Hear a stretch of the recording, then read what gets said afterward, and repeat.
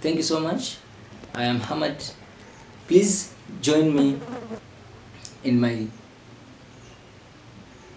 venture of empowering and inspiring the youth.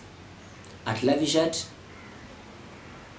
the real youth empowerment is our major goal. So subscribe to my youtube channel stay intact and learn as you contribute towards bettering the lives our, of our youths Hatuwezi tukasalimu amri kwa ugonjwa huu wa korona tukashindwa kumtegemea Mungu na tukashindwa kuendeleza uchumi wetu. Hili litapita kama yalivyopita magonjwa mengine, lakini tuendelee kuchukua tahadhari kama ambavyo tumekuwa tukifundishwa na viongozi to stay at home during this period of time where coronavirus has proved to be the unseen enemy to the entire globe. Everybody is crying, everybody is trying to secure his family and his life because of the unseen enemy. Do you know how this thing started?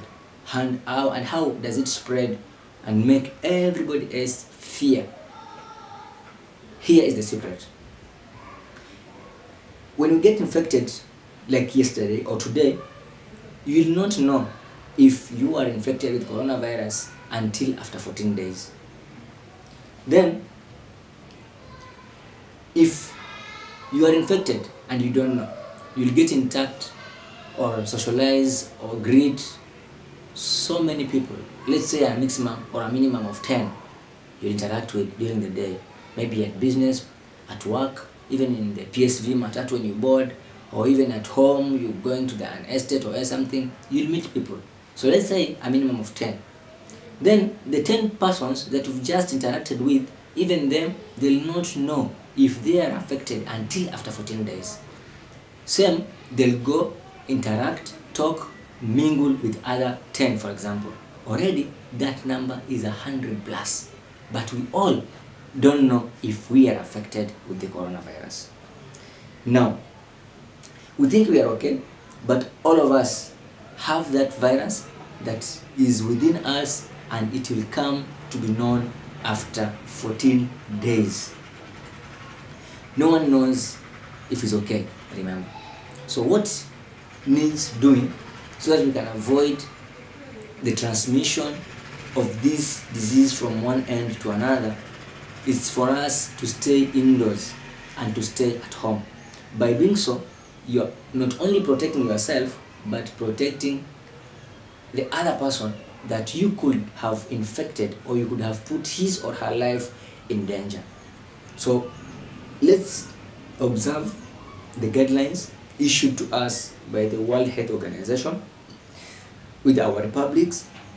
Stay indoors, stay at home, work from home, and observe as this thing is being looked for a solution. It's high time we all of us take precautions before it is too late.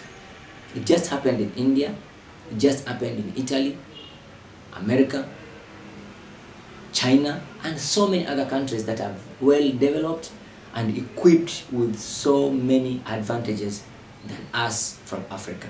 So it's high time we all take precaution measures. This thing is not for who and who, but for me and you. Take that self discipline, understand the danger, and avoid making things worse before it is too late.